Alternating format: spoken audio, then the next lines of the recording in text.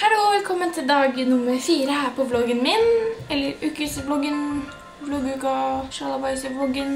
Velkommen til skjærtorsdag med Isabel. Det har blitt litt over halv ett, så jeg har fått sovet lenge i dag. Og krokost på senga, og bare kosa meg. Nå har jeg akkurat vært og tatt en dusj, og skal sminke meg nå snart. Men først så skal jeg vise dere en ny selvbruning jeg har fått, som jeg ikke har prøvd enda, så den er helt ny. For jeg går på en sånn hudpleiegreie akkurat nå, så jeg kan ikke ta sol. Og det er ikke bra å ta sol for ofte heller, for da kan du få rygge, man kan få flere kviser, masse greier som ikke er bra.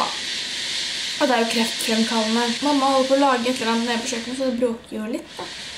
Nei, men jeg tenker i hvert fall at det er bare oss å vise den der selvbruningen nå, for den skal man vaske ut etter så og så mange timer. Jeg vet ikke helt om jeg har tid til det, så ja. I hvert fall, vi går og prøver den nå. Så den her, her er da fra Mindtan, og er i sånn coconut skum.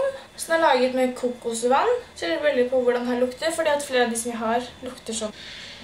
One Hour Express Tan. Så utrolig smart. Jeg har bare en time på meg, så det her er One Hour Express Tan. Og så har jeg fått den der applicatoren mitt, sånn der handskram. Så da kan vi åpne den også. For at ikke du skal få sånn shoulder og sånn på huden min. Den var sykt myk. Åh, jeg gleder meg til å bruke den her. Man kan ha den på lenger enn en time også, men en time for en naturlig brunfarge. Ha den på lenger for en mm, dypere og mørkere farge. Ok, så jeg tror egentlig at jeg bare har lyst til å prøve den her nå. Da bare shaker jeg litt på den. Da er korken av. Den her lukta ikke som alle de andre, fordi at de andre har sånn veldig sterk og kvalmende lukt. Men det synes ikke jeg den her hadde. Den her hadde veldig god lukt. Så da sitter vi med foten opp til benken og påfører denne deilige selvbruninga her. Den hanska her var skikkelig deilig å påføre med. Man ser allerede sykt stor forskjell.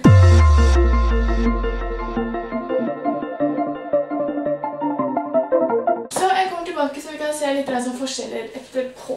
Ja. Da ser jeg at jeg har tatt på det ene beinet. Man ser litt mer forskjell. Det kan man godt si. Og det er jo det som er poenget. Bare ikke det siste beinet, bare for å vise dere at... Å, herregud. Jeg vil fortsette å ta det andre beinet før det er for sent. Og så kommer vi jo tilbake til dere senere. Ja. Så nå er klokka jo snart to, og jeg venter på besøk. Så ja, da får jeg for snart besøk, så det blir ikke akkurat så veldig mye filming når jeg har besøk. Synes det er litt teit å bare dra opp kamera hele tiden. Snakkes vi da. Ja, ha det.